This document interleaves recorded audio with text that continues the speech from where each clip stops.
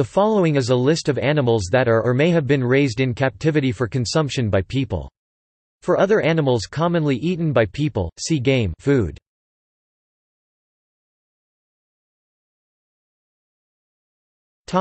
See also Game food List of meat dishes